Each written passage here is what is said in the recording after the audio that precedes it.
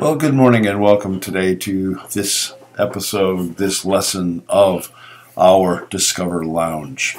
Today we will be looking at our mission and our ministry, more specifically, our time.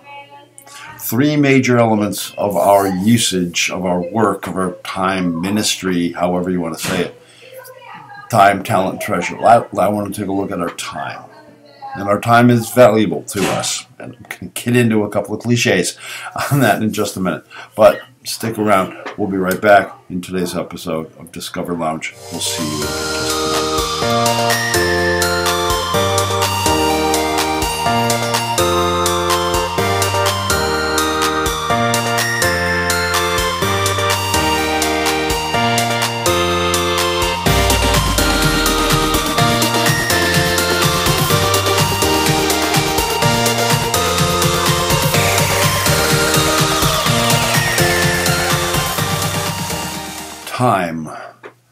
Time is of the essence. okay, I gotta quit with the cliches, but I've actually got a page that I want to tell you about the cliches about time. But we want to look at time today. We want to spend our time, okay, on what we want to be able to do today is time.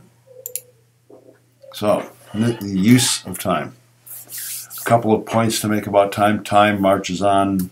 Time waits for no man. A stitch in time saves nine. Okay, and yeah, I'm I'm done with the cliches. I'm, I'm finished apart from the cliches. The utilization of time sometimes escapes us. What do I mean by that? We spend a lot of time doing things. I'm going to borrow from Franklin Covey for a moment. He talked about the four areas when it comes to, to leadership, service, and the like. He talks about four, four different areas. And one of the things he talks about in his four areas simply is this. As soon as I get back to this, right? Four areas of doing things, assigning priorities on doing things. What do we do? Well, the first quadrant, first most important is most important, most urgent. Second quadrant, urgent but not important. Third quadrant, not important or not urgent but important. And then the fourth quadrant is not important, not urgent. And what do we spend most of our time on or in? Which quadrant? Not important, not urgent. Sometimes people have challenges in facing the most important things and the things that are urgent to get done. We face our problems in getting these things done, and that's we seem to be running. The utilization of time escapes us, and we always say the phrase, "We seem to be running out of time." I think we we need to be focused upon the utilization of our time, um, and how do we keep it from running away from us? And then the last one is, and there never seems to be enough of it. Okay, there, there's a reason why there never seems to be a, enough of time. It takes management, knowing what to do and when to do it, knowing for whom to do it and when to do T, it, and knowing the priorities. And I think that's one of the reasons why I brought up Stephen Covey today. That we need to look at how we use our time. Now, time is a precious commodity because we use it either for ourselves, for other people, and God. Those are the three there are three people for whom we use our time. And the other challenge that we face is how do we do it? What are we doing in that time period? Are we frittering it away or are we using it in a productive manner? See, what I want to help us to focus on, first of all, is taking that time that we do have and focusing it on in a productive manner a, a usage of time that's going to be beneficial to both other people and myself. It's going to give us benefits on both sides of the coin. Okay, so let's move forward now as we continue to move on in our use of time. Knowing the priorities. What is most important? What is the most urgent? And the like. So, a couple of ideas about the use of our time. Well, first of all, let's spend some time with God. Um, God says in his first commandment, You shall have no other gods before me. Okay, so God is saying in the very first commandment, I want you to, to focus on, on your relationship with me. So spend time with God. Now, how do we do that? What, what are our areas of time usage when it comes to using it with God? Well, worship, as I said, showed in there in the outline. Study. Now, that can be corporate study, meaning with other people. That can also mean study individually spending time in private devotion and prayer. Those are wonderful, wonderful things. Spending time in private devotion and prayer. Uh, spending time with God in service for the sake of other people. I'm going to use as an example coming up this Saturday morning. Love to see you here. Uh, our spend some time helping people with food. Uh, we're going to be distributing food from 8 to 11 this coming Saturday morning. Um, be here by 7.15, help set up and get ready for it. But it's a great use of time of interacting with people. So spend time with God. Spend time with other people. How do we use our time uh, and, and the like? So what's the next bullet on our point here? Well, spend time with family and friends, family activities and enjoyment. One of the things that I think is of great importance to us and that is being in community. Now, time with family, friends, uh, this is where you can go to ball games. This is where you go to picnics. This is vacations, uh, and fill in the blank for whatever else it could be. Um, these are the things where we value the time that we have with our family.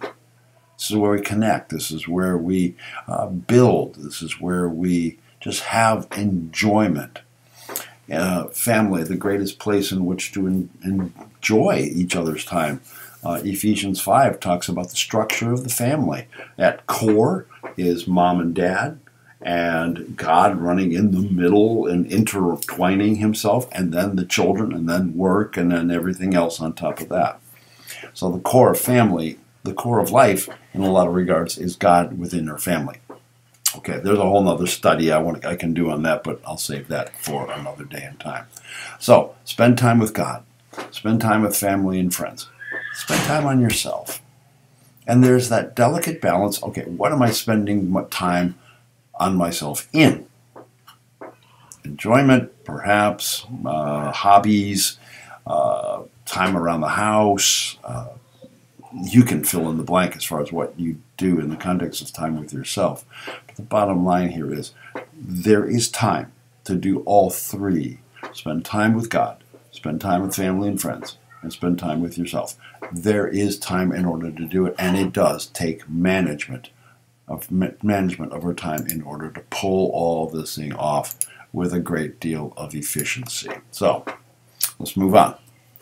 What does spending time with God look like? Now, this is the focus of our time here because I can just talk about it, but the reality is let's live it.